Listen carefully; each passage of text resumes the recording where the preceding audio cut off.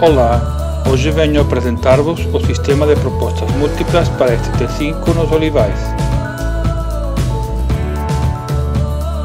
Este é um apartamento T5 com 7 assoalhadas e 200 metros quadrados, remodelado em 2017.